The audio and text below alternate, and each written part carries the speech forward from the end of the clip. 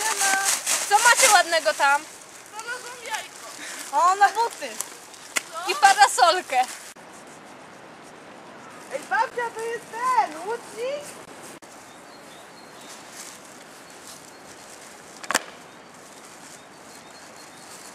Dużo śmieci? Dosyć, siatki, butelki i tego typu rzeczy. Najwięcej to jest jakiś butelek po piwie i takich tam. Czemu przyszłyście dzisiaj tutaj sprzątać? Szłyśmy, ponieważ e, no, chcemy pomóc trochę środowisku, a poza tym jesteśmy harcerkami.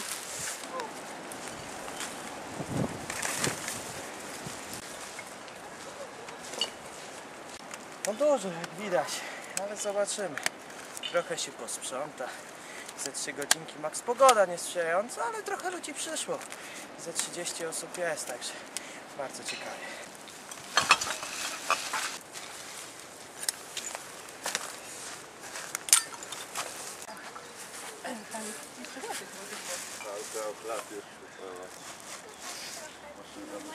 Maszyna jest. To są śmieci po prostu przyniesione. Nie chce się komuś zanieść do miasta, jak wraca z jakiejś tam wycieczki, tylko rzuca w parku, bo tutaj nie widać. Uwaga, bo to się worek. Tak, tak, tak, tutaj trzeba uważać na to. Dawaj. Czekaj, żeby to